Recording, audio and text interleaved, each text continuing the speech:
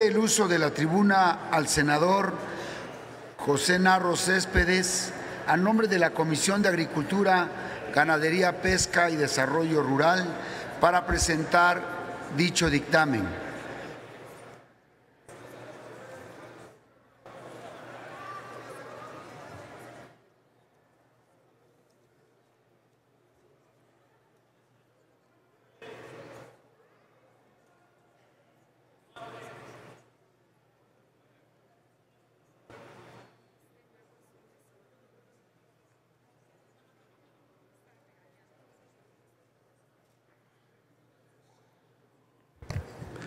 Con su permiso, presidente. Adelante, senador. Honorable Asamblea, la Comisión de Agricultura, Ganadería, Pesca y Desarrollo Rural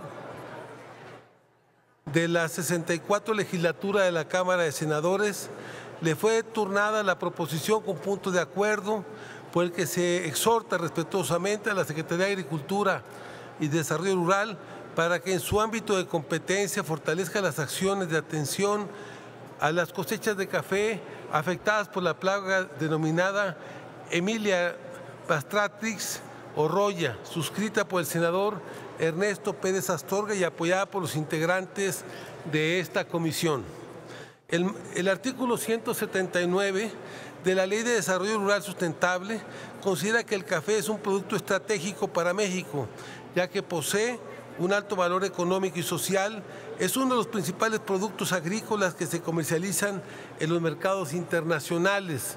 Los productores de café son de los más pobres de los pobres del país, fundamentalmente está en las regiones indígenas y a esta actividad se dedican cerca de 4 millones de mexicanos, que es muy importante, son, eh, es una población eh, eh, pobre, muy pobre, y generalmente es parte de la población indígena del país que requiere el apoyo por parte del gobierno federal.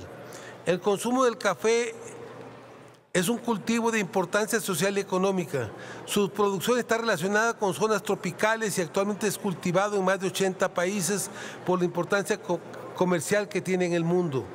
México ocupa el noveno lugar en la producción, de, en la producción cafetalera.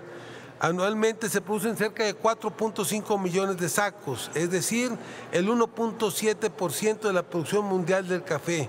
Nuestro país produce las variables de café arábigo y robusto.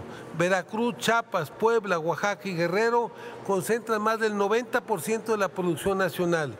Sin embargo, su producción se ve afectada por diversas plagas y enfermedades, entre las cuales se encuentra la roya del cafeto, causada por el hongo Emelia bastratrix, que fue detectada por primera vez en 1981 en la región del Soconusco, Chiapas, y actualmente está presente en todas las zonas productoras del país.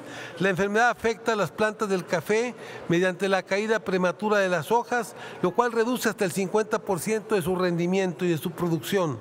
Por lo anteriormente expuesto, el Senado de la República exhorta respetuosamente a la Secretaría de Agricultura y Desarrollo Rural para que en su ámbito de competencia fortalezca las acciones de atención a las cosechas de café afectadas por la plaga roya, del cafeto por la que se somete a la consideración de esta H Cámara de Senadores. Muchas gracias. Es cuanto, presidente.